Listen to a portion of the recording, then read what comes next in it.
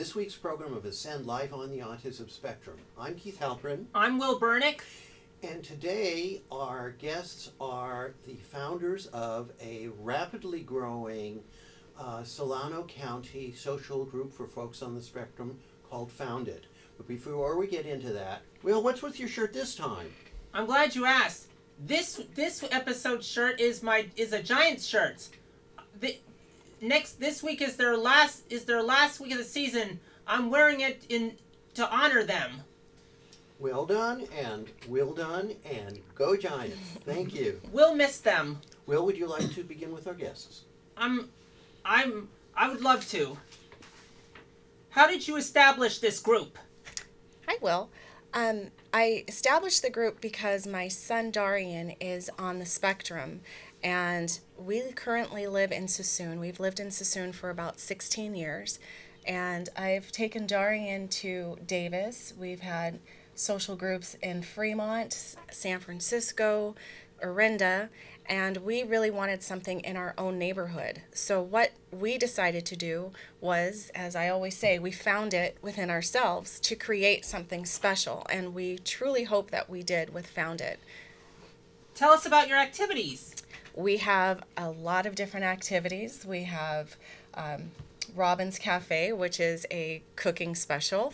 Robyn has uh, done our wrap class where she's done two different types of wraps for our group. Um, and it's not just Robyn doing the instruction and telling people how to do it. All of our members actively participate in doing that. She's done a mug class where all the ingredients are fresh and you put it in a mug and you heat it up in the microwave. We've had a music appreciation class. We had um, we have several presentations. One on how to deal with bullying, anxiety, effective communication, social media, and we also do act, um, outside activities. Like we re- most recently, we've gone to Chinatown, Japantown, Endless Summer in Berkeley, which is amazing carnival food, and um, axe throwing. Uh, we've done a train ride, and um, gosh, so many other things I can't think of at the top of my head. But we just like to have fun, and we like to be there for each other and provide peer support.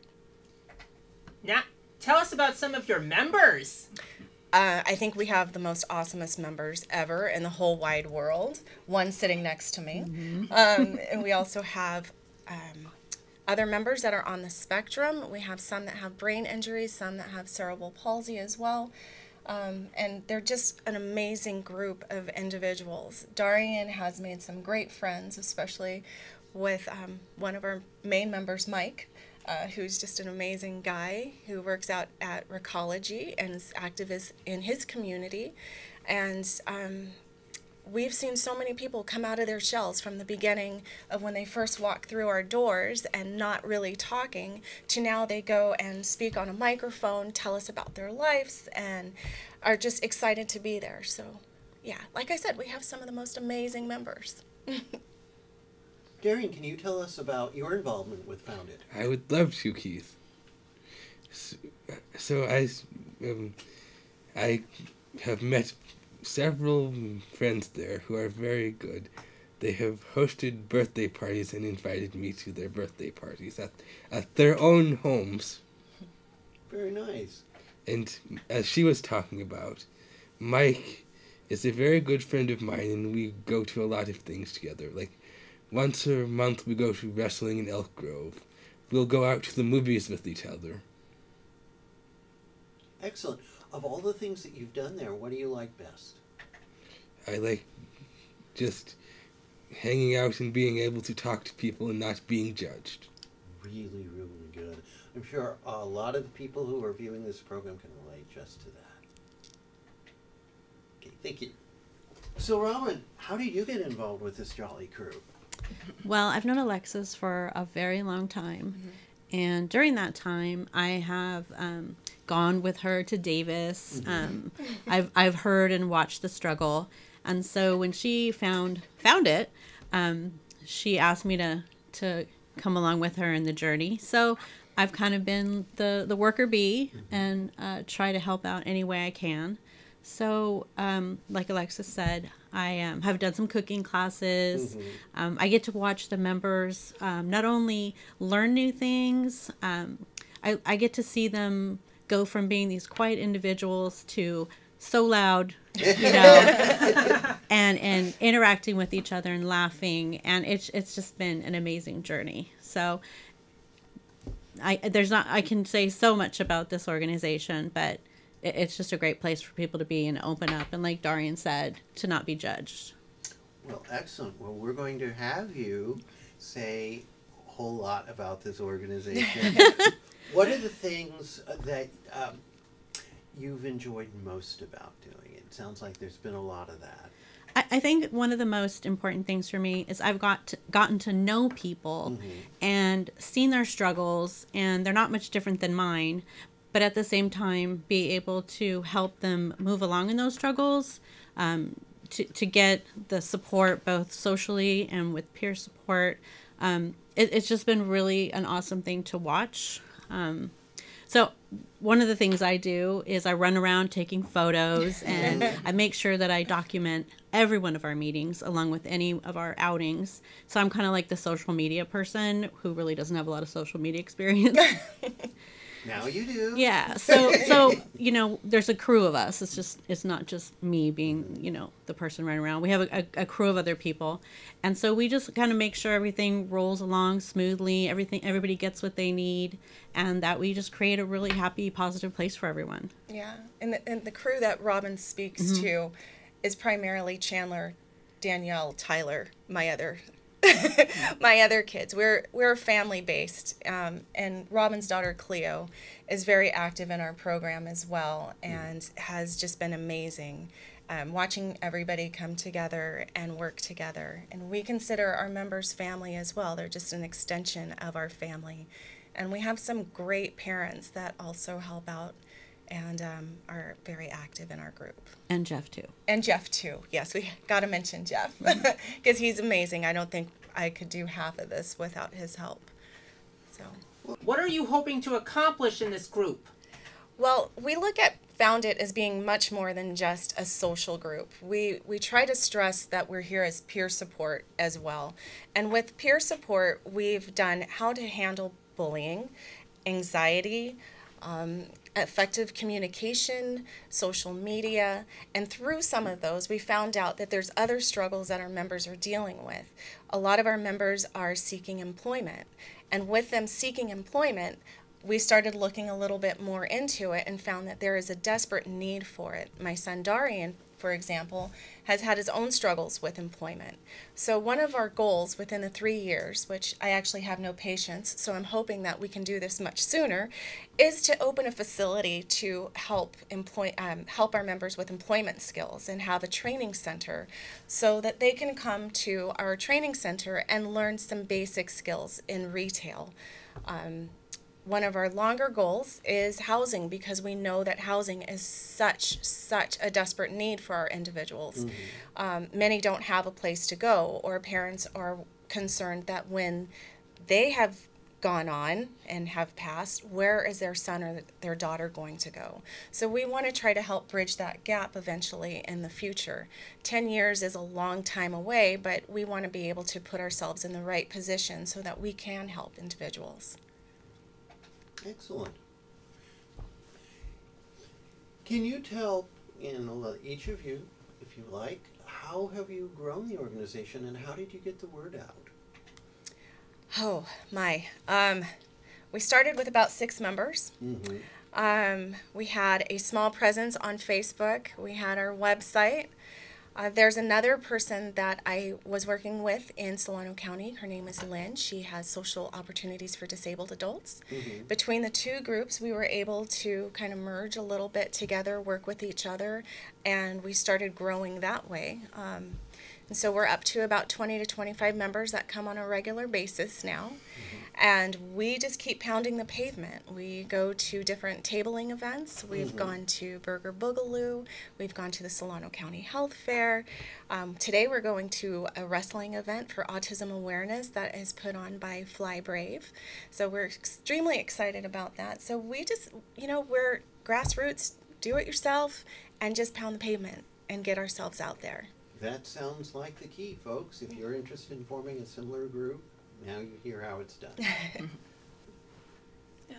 So Darien, why don't you tell us about some of the events that you have coming up? So we're going to be going to the Solano County Health Fair next week, right? Mm-hmm. And also, for Halloween, we have a special meeting where you can dress up and look as silly as you want. Sounds like fun. So, Alexis and Robyn, can you tell us a little bit more about what your uh, goals and programs are for employment? So, with employment, as I was saying earlier, we would like to have an employment center where we can do training for basic skills for people that might not have ever had a job before. Um, but during the break, I was speaking with Jennifer, and Jennifer brought up a good point because Jennifer is highly educated and overqualified for a lot of jobs. So, it makes me think that there's definitely room for us to to think outside of the box and try to start partnering up with people since this is one of our three-year goals that might be able to help us expand and work with people that are highly qualified for jobs and get them in the right place and have um, mock interviews um, resume sessions and things like that but again it's our three-year goal so we're up for anything Excellent. Your thoughts, Robyn?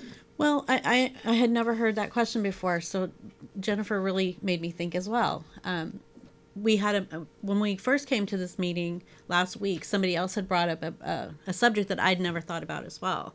So it, it really kind of just opens my mind of what else is out there, what else could we do, and I, I agree, finding people to partner with um, for these these needs out there that we don't have the resources for is is really great. So thank you, Jennifer. That was a great question. You're welcome. Excellent. Um, do you have any, uh, uh, oh, hold on. Housing. Okay, yeah, okay. I know it's like a long-term project, Mhm. but can you tell us a little bit about what your initial steps on the housing front might be? Well, it would be great if we could find a location, um, but funding is definitely an issue, and the prices of these properties um, are a little outside of our budget. um, but in Solano County, it's a little bit less expensive than it is in the Bay Area.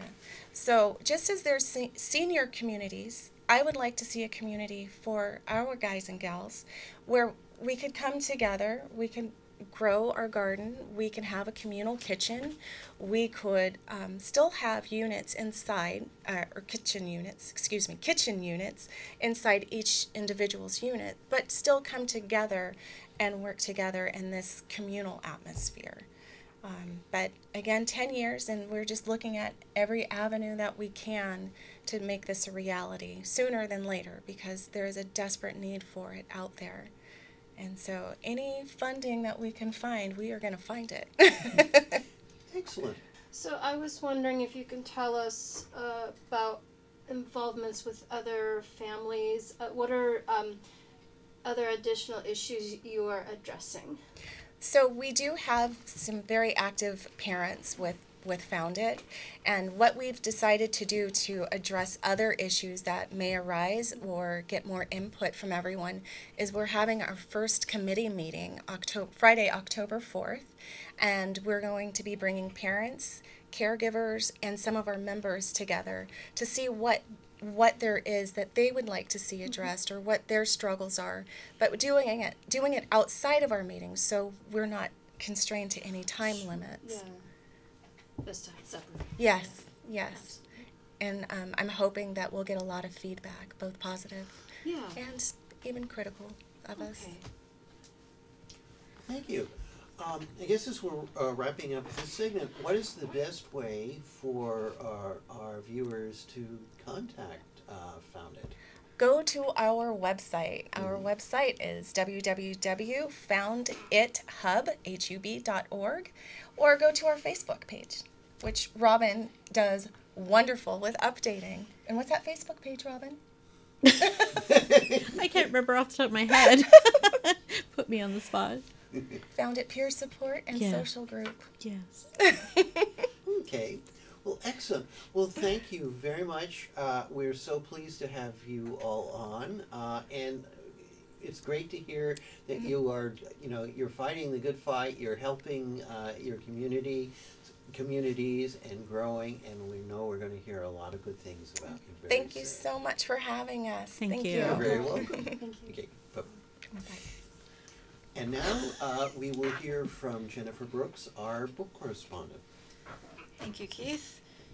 Today I am featuring the works of children's book author Ginny Rorby, who has written a selection of very eloquent books about both disability and neurodiversity.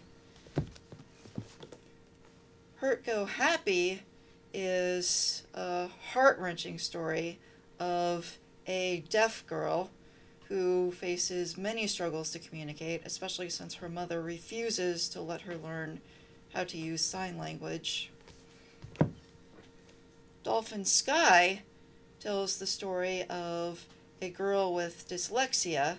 This book is set in 1968, before many of the special education laws that we currently have were passed, but still the girl in this story was lucky because she was identified as having dyslexia at the age of 12, not having to wait until she was an adult to understand why she struggles with certain things that come so easily to everyone else. Her autism book is called How to Speak Dolphin. This is the story of a young boy with autism who is nonverbal and also his older sister, who is the main character of the book. And the older sister's best friend happens to be a blind girl who is teaching herself to use alternate methods of navigating her world, including echolocation, like dolphins and bats use. And the girl's stepfather believes that having his son swim with dolphins will somehow help his autism. However, scientific research, which the author cites in her book, has disproven that idea. So it's a warning to parents in search of some sort of miracle cure for their child's autism that you're probably not going to find it. It would be better to accept your child for the way he or she is. So, first, let me commend the author for doing her homework before she wrote this book. Maybe in the future she can write a book directly from the point of view of a child with autism. That's this book's only serious flaw that we don't hear directly from the child with autism who has a great deal of difficulty expressing himself. But she does quote Kevin Pelphrey, director of the Child Neuroscience Lab at Yale University. Autistic children, and one would presume also autistic adults, have rich experiences, rich feelings, rich emotions, and these can be harnessed to help them learn to engage. Something for us all to keep in mind. Also, Ginny Rorby has a new book coming out October 1st called Freeing Finch, which features a transgender character. We'll now turn to our cultural correspondent, Stacy Kennedy. Thank you, Keith. Okay, well, what I'd like to uh, share first is uh, there's this interesting uh, conference coming up on October 17th um, Autism Science Foundation Day of Learning West, which will be at the City Club of uh, San Francisco on 155 Sansome Street on the 10th floor. But to go into more detail, there's um, a highly successful TED or TED style um, from NY will be featuring speakers that represent their own um, type of programs from all over. And their mission is to support autism research by providing funding and other assistance to scientists and um, organizations conducting, facilitating, publicizing, and disseminating autism research, and the prices do vary, and there is no refund. So again, that's October seventeenth, Autism Science Foundation. Uh, two more things I want to bring up is the Best Buddies Outdoor Movie Night happening on October 18th at 5 p.m. at the Mission Dolores Park and at 19th and Dolores. So um, bring popcorn, snacks, and water, any other drinks, and chairs. Um, it'll be Halloween themed. Sunday, October 20th, is Ascend is having their annual picnic in Golden Gate Park, and the spot is to be determined. And it'll start at noon and go till three. Thanks. Thank you, Stacy. Well, folks, this is our program for the week. Uh, until next time, I'm Keith Halperin. I'm Stacey Kennedy. I'm Jennifer Brooks. I'm Will Burnick. I'm Alexis Jarreau. I'm Darien Taylor. And I'm Robyn Juul. And we will send life on the autism spectrum. Take care. Cut. Right, okay. Let's get some photos. Just keep it running or? Now we can turn it When you off asked me if it about will Facebook, work. I'm like, oh. Places people Sorry, Robyn.